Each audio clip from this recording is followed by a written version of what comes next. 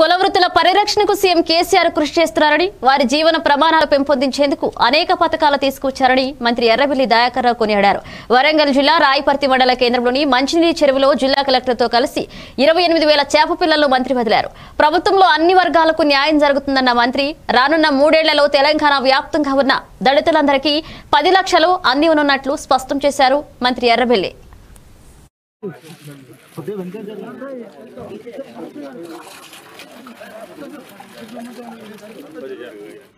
పేది.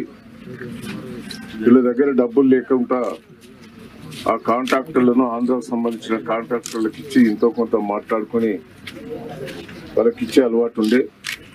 ఆ ముదిరాజు బెస్త బిడ్డల్ని పైకి తీసుకురావాలనే ఉద్దేశంతో ముఖ్యమంత్రి గారు హండ్రెడ్ పర్సెంట్ సబ్సిడీ కింద ఫ్రీగా వాళ్ళకు చేపలు వేయటం కాకుండా చిన్న చిన్న వెహికల్స్ కూడా కొనిపించి వాళ్ళ వృత్తిని పెంచి ఏర్పాటు చేస్తున్నారు.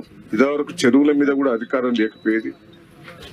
ఆ చెరువుల మీద పూర్తిగా ముద్రాజు బెస్త బిడ్డలకే అధికారం ఇచ్చేటట్టు కూడా చట్టంలో మార్పులు తీసుకొచ్చాం. గ్రామ పంచాయతీ కూడా వాళ్ళ మీద పెత్తనం చేయకుండా పూర్తి అధికారాలు కూడా వాళ్ళకే ఇవ్వటం కూడా జరిగింది. అటువంటి అవకాశం కల్పించింది కేసీఆర్ గారు. తెలంగాణ ప్రభుత్వం అనేది మనం గుర్తుపెట్టుకోవాలి. కుల వృత్తులను ప్రోత్సహించాలని ఈ కుల వృత్తులకు ప్రోత్సహించడం కూడా జరుగుతున్నది. దళిత బిడ్డలకు కూడా దళిత బంధువు మొదలుపెట్టాడు. మూడేళ్ళలో